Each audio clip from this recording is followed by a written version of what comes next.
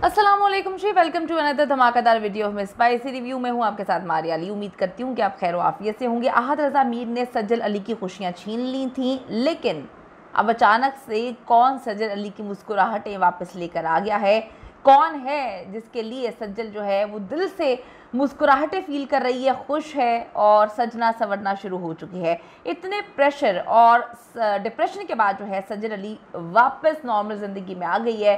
कौन है जो उसको सपोर्ट कर रहा है, कौन है, जो ज़िंदगी में उसका हम सफ़र बनने जा रहा है। वीडियो को आखिर तक देखिएगा रिक्वेस्ट है। अगर अभी तक आपने चैनल को सब्सक्राइब नहीं किया, कर दीजिएगा। इससे हमारी हौसला अफजाई होती है। सज्जल अली को जी, सिर्फ़ पाकिस्तान की नहीं, बल्कि पूरी दुनिया में जितने भी लोग हैं जो उसको देखते हैं, उसका काम देख चुके हैं, वो बहुत ज़्यादा चाहते हैं और बहुत उससे प्यार करते हैं।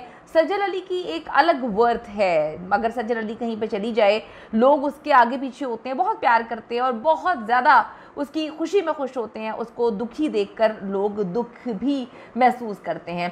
सज्जल अली को जी लोग दुखी नहीं देख सकते, उदास नहीं देख सकते, लेकिन उसकी ज़िंदगी का एक फ़ेज़ ऐसा था, जहाँ पर ना सिर्फ़ वो उदास हुई, बल्कि डिप्रेशन में भी चली गई। आहत रजा मीर जो ऑन स्क्रीन कपल हसीन तरीन कपल दोनों एक दूसरे को कॉम्प्लीमेंट करते, बहुत ही खूबसूरत लगते। लेकिन ऐसा ज़रूरी नहीं होता कि अगर आप ऑन स्क्रीन एक दूसरे को कॉम्प्लीमेंट करें तो ऑफ़ स्क्रीन भी आपके अंदर इतनी हिम्मत हो कि आप जो है, अपनी बीवी की कामयाबी को जो है, उस तरह से डाइजेस्ट कर सकें। हमारे माशरे का अलमिया ये है कि अगर आदमी की अचीवमेंट्स होती हैं तो उसकी बीवी बहुत खुश होती है फूले नहीं समाती, पागल हो जाती है। लेकिन कुछ मर्द हमारी सोसाइटी में कुछ बोलूँगी, क्योंकि मैं पर्सनली ऐसे लोगों को जानती हूँ, जो कि अपनी बीवियों को बहुत ज़्यादा अप्रिशिएट करते हैं। उनकी बीवियाँ बनती ही उनकी वजह से है।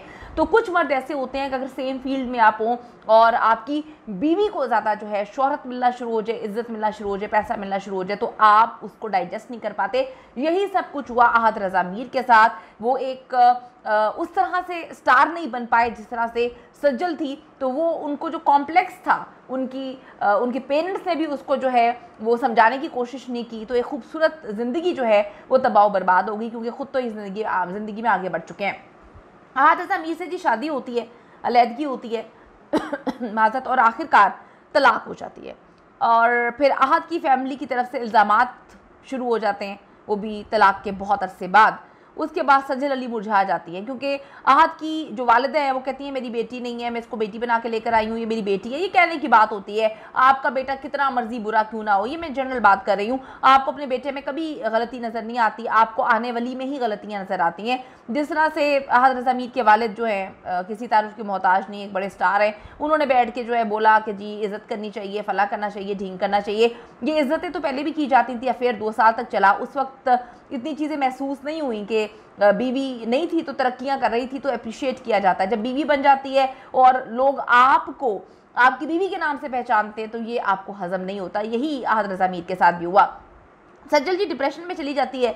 और डिप्रेशन की ज़िंदगी गुजारना शुरू हो जाती है, क्योंकि आपको पता है उनकी वालदा भी नहीं है, वालद का भी उनका क्या चक्कर है, सबको पता है, छोटा भाई है बहन है, वो सब उनको निकालने की कोशिश कर रहे थे। हकीकत यह है कि सज्जल अली मुस्कुराना भूल गई थी, और सज्जल की मुस्कुराहट की तो दुनिया फ़ैन है, लोग चाहते थे कि वो मुस्कुराए तो हम मुस्कुराएँ, लेकिन अच्छी खबर यह है कि सज्जल अब दोबारा से ज़िंदगी की तरफ़ वापस लौट आई हैं, और शबाना आज़मी साहिबा किसी तारफ़ की मोहताज नहीं है इंडिया से उनका ताल्लुक़ है, एक बड़ी स्टार है।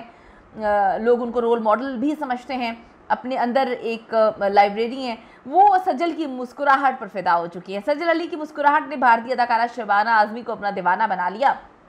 सजल अली की अदाकारी के चर्चे पाकिस्तान समेत जो है, वो भारत में भी ज़ुबान से आम है। उन्होंने बॉलीवुड फ़िल्म में श्री देवी की बेटी का बड़ा ही खूबसूरत किरदार अदा किया और भारत में खूब नाम कमाया। इसके अलावा वो जमाइमा गोल्ड स्मिथ की फ़िल्म भी भारतीय अदाकारों के साथ अदाकारी के जोहर दिखा चुकी हैं। यही वजह है, मैं आपको फिर बताऊँगी कि आपका पार्टनर, जिससे आप शादी करना चाहते हैं आपका शोहर, अगर वो बर्दाश्त नहीं कर पा रहा आपकी तरक्की को तो आप उसके साथ कैसे ज़िंदगी गुजार सकते हैं? वो आपसे जल रहा है, वो आपको डीमोटिवेट कर रहा है। आप सबको पता है, फिरोज़ खान के साथ इनका बड़ा फेयर था शादी भी होने वाली थी, लेकिन जब इनको श्रीदेवी के साथ मदर फ़िल्म की ऑफ़र होती है तो उसने कहा कि जी तुमने नहीं जाना। इन्होंने कहा कि नहीं, मैं आगे ज़िंदगी में बढ़ना चाहती हूँ। तो उसने कहा, जी ठीक है, मैं तुम्हें छोड़ देता हूँ। तो अगर इसी तरह से आपने अपने पार्टनर की कभी औरत ने तो नहीं छोड़ा? कभी औरत तो नहीं कहती कि अगर आदमी जो है काम करने के लिए दूसरे मुल्क जा रहा है या कैसे कैसे काम भी कर रहा है तो मैं तुम्हें छोड़ दूँगी। ऐसा नहीं होता। ऐसा हमने मर्दों के अंदर, कुछ कम ज़र्फ लोगों में ही ये बातें पाई जाती हैं। अब जी सजर अली ने हाल ही में अपने एक नए आने वाले ड्रामा सीरियल जर्द पत्तों का जो है जर्द पत्तों का ड्रामा इसका कोई आ रहा है, मैंने अभी इसका ट्रेलर नहीं देखा, लेकिन चर्चों में है। उनकी चंद झलकियाँ शेयर की हैं, जिसमें उन्हें हीरो हमज़ा सुहेल के साथ देखा जा सकता है। तो जैसी तस्वीरें सामने आती हैं फ़ोटोशूट वगैरह करवाते हैं, नए प्रोजेक्ट पर खुशी का इजहार किया।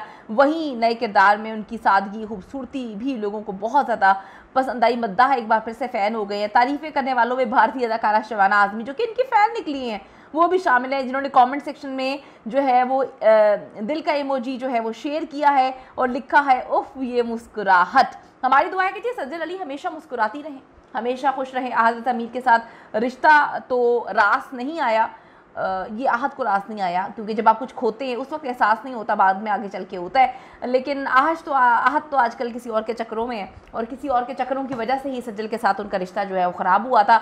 चलें जी, कुछ लोग ज़िंदगी में चक्कर चलाते रहते हैं और कुछ लोग ज़िंदगी में जो है किसी एक के साथ एक के बन के रहते हैं। तो हम दुआ करते हैं कि वो जो एक है, वो सज्जल की ज़िंदगी में आ गया हो जिसकी वजह से सज्जल मुस्कुराहटें बखेर रही हैं। हमेशा ऐसे ही मुस्कुराहटें रहें।